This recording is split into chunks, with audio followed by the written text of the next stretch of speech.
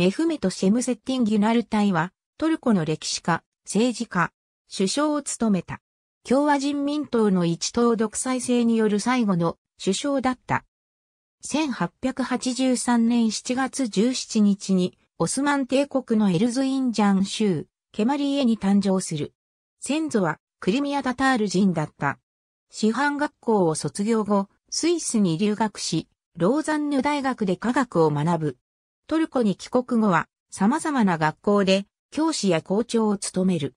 反中力主義の理論的指導者である。ジアギョクアルプと知り合い、トルコ民族の歴史を調べ始めた。1914年に。イスタンブール大学文学部教授となり、トルコイスラム諸民族の歴史を講じる。1915年に。統一と進歩委員会から。ビレジック州選出議員として。オスマン帝国議会議員に選出され、オスマン帝国の滅亡までその職にあった。一方イスタンブール大学での講義も続けていた。トルコ革命中はアナトリアルメリア権利擁護委員会に加盟し、トルコ共和国成立後の1923年、共和人民党からスイバス選挙区選出議員として、トルコ大国民議会に選出される。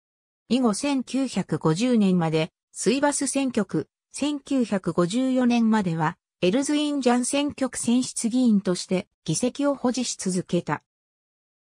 1949年にハサンサカ内閣が辞任すると、イスメとイノニュ大統領により次期首相に指名された。しかし、トルコ史上初の自由選挙となった翌1950年の総選挙で共和人民党は民主党に大敗し、首相職を民主党のアドナン・メンデレスに譲った。軍部によるクーデター後の1961年に上院議員に指名されたが、その直後に前立腺がんのため死去した。本人の希望により、アンカラにある溶接した娘の墓の隣に葬られた。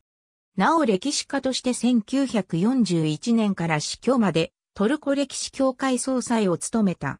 ありがとうございます。